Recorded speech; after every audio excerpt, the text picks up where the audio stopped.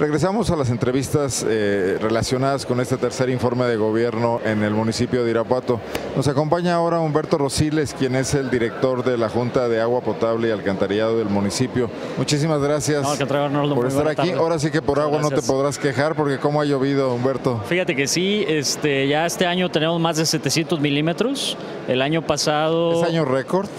No es un año récord, es un año que está superando los promedios, ¿eh? todavía no se acaba pero ya, ya superamos los 700. Recordamos que en Irapuato el promedio lo tenemos en 680 el año pasado el acumulado estuvo en 583 milímetros, entonces bueno, ya llevamos eh, más de 120 milímetros en lo que Pero va este precipitaciones muy fuertes y muy concentradas que a ustedes les causan muchos problemas. Fíjate que ha cambiado la manera de la precipitación, es decir, este, si ubicamos tenemos temperaturas muy altas ya por la tarde, inclusive ya por la noche, temperaturas que rebasan los, 25 grados. el cambio climático. Así es, y eso nos está generando que las precipitaciones sean más intensas en periodos de tiempo más cortos, ya no estamos observando precipitaciones como las que teníamos hace unos 20, 30 años, donde eh, eran de tres días, las famosísimas lluvias de tres días o lluvias muy cuantiosas, muy copiosas, pero de larga duración y que, bueno, permitían un flujo más adecuado en los alcantarillados. Hoy día, el tener estas altas intensidades eh, de poca duración,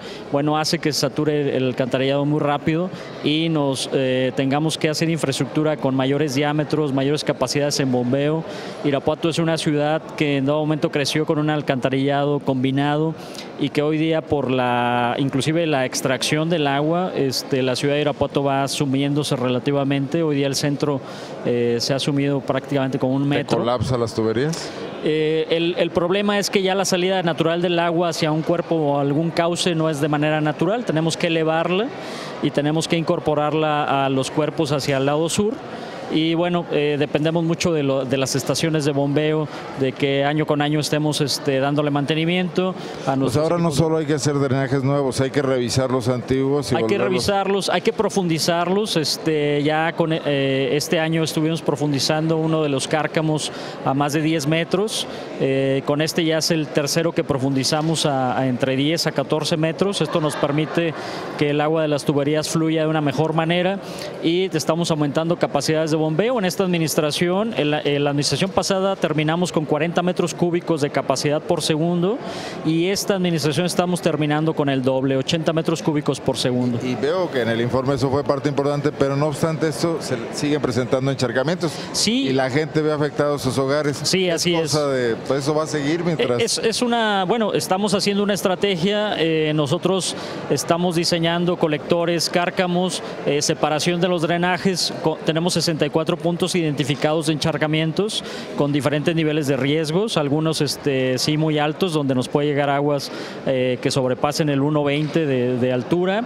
Otros tenemos con riesgo medio, con ingresos a viviendas, pero con una lámina controlada, a veces de 5 o 10 centímetros. Y bueno, otros de riesgo bajo que tenemos este, en, en dado momento en las vialidades a nivel de, guarnición, que se está trabajando. el sistema se está robusteciendo para que aminore eh, los espesores de las láminas pero también que acorte los tiempos de los encharcamientos. Eh, ahí nosotros los, registros más altos que tenemos aquí en, en Irapuato de lluvias son intensidades de 85 milímetros, que se presentó una el año pasado.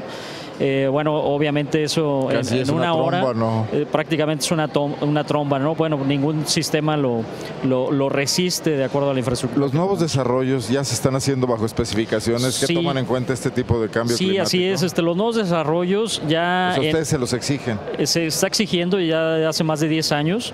Este año estamos cumpliendo con más de 60 desarrollos nuevos a colonias que ya tienen su sistema separado. Esto nos ayuda mucho a disminuir pues infecciones que en dado momento en, una, en, un, en un brote de las aguas de lluvia este, hacia las vialidades, eh, se reducen las infecciones porque ya no brota el drenaje sanitario y el otro se, se aumentan las capacidades. Este, con esto tenemos ya 60 colonias y como lo comentó el, el, alcalde ahorita en el tercer informe, separamos ya los drenajes en el tercer cinturón, eh, Boulevard Solidaridad y en Avenida San Cayetano de Luna. Esto es algo muy importante para nosotros porque mejora la conducción del servicio. el tema de las lluvias nos llevó a este asunto de los drenajes, pero el abasto de agua también es algo muy relevante. Bueno, es una de las funciones fundamentales de ustedes. Es, ¿no, es de diario. Veo que Irapuato no se queja como muchas otras zonas del estado. No, León. Eh, o el norte, ¿no? Ustedes están, están todavía con una gran margen de maniobra. Sí, tenemos una, una gran capacidad. Nosotros estamos extrayendo 135 mil metros cúbicos diarios, es decir, casi 13.500 pipas o el equivalente. Eh, tenemos una capacidad instalada para poder eh, extraer de manera diaria más de 200 mil metros cúbicos diarios. todavía no utilizan la purísima. Todavía no estamos utilizando la purísima. Una gran reserva. Eh, estamos trabajando en cuatro, cuatro sentidos, muy importantes para el servicio de agua. los horarios, estamos midiendo mes a mes las horas de servicio en cada una de las, de las 333 colonias que tenemos este, administrándose.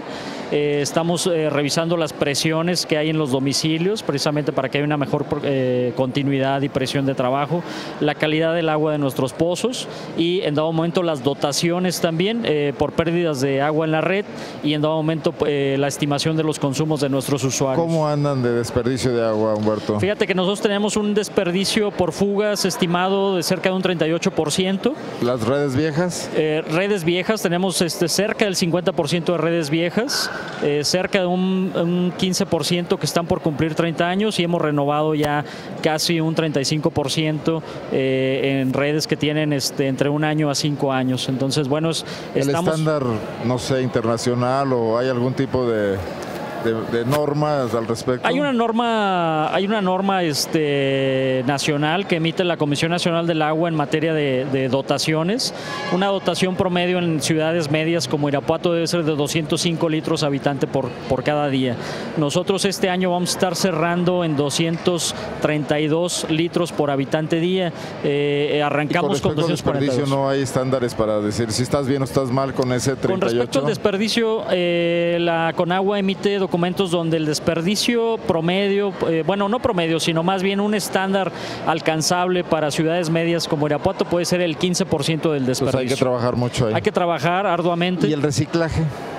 Es el, futuro, ¿no? Bueno, estamos... ya el presente. Eh, estamos en, esa parte, fíjate que hay, dos temas. Es un tema como los residuos sólidos. Estamos trabajando más bien en la disminución, es decir, nosotros estamos disminuyendo pérdidas de agua, es decir, que no se utilice un agua innecesaria, pero también estamos invitando al ciudadano a que utilice este, eh, realmente el agua que necesita, que pueda utilizar muebles con menos este, consumos de agua, que realmente en la parte de sus áreas verdes, bueno, lo rieguen eh, en, la mañana o por la tarde. Es decir, lo primero es como las tres, las tres R's, ¿no? Reducir. Lo primero es muy importante reducir, eso, eso nos da mayor capacidad de vida útil a nuestra infraestructura.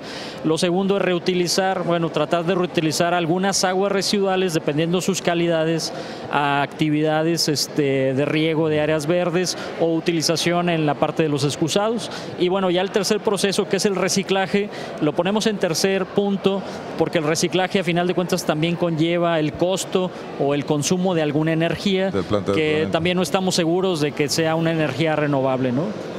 Bueno, como siempre es muy interesante platicar contigo de ah, estos temas. y la Junta Municipal de Agua Potable de Irapuato creo que se ha convertido en un, en un modelo también a nivel nacional, como lo, es, como lo es Zapalo, como lo son otras de las Pues estamos trabajando arduamente, este, la verdad es que estamos muy, muy a gusto en esta administración, el alcalde y el ayuntamiento nos ha permitido establecer estándares de mejora continua y en dado momento mayores coberturas. Eh, vienen retos muy importantes, el organismo eh, a través de su consejo directivo eh, está impulsando mucho que crezcamos hacia las comunidades, es decir, eh, cada día tenemos que mejorar el servicio en la ciudad, todavía eh, nos hace falta algo, pero bueno, vemos también una, un atraso eh, muy sensible en la parte de las comunidades, es ahí donde queremos trabajar, la próxima administración... Irapuato tiene muchas, ¿no? tenemos 131 comunidades, este, estamos haciendo ya un inventario de las necesidades de servicios, tanto en agua, en alcantarillado, en tratamiento, hay un compromiso muy grande que es llevar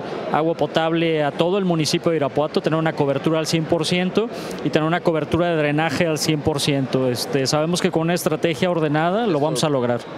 Pero queda para la próxima administración. Es un compromiso ya para la próxima administración que a final de cuentas está ya trabajando en un planteamiento, obviamente para dejárselo al próximo ayuntamiento y bueno, eh, pueda establecerlo en el programa de gobierno. Te agradezco mucho. Como Al contrario, a ustedes por el espacio, Arnoldo. Muchas gracias. director de la Junta de Agua Potable y Alcantarilla de Irapato de Japame. Continuamos, tenemos más entrevistas. Denos un minuto nada más para acomodarnos.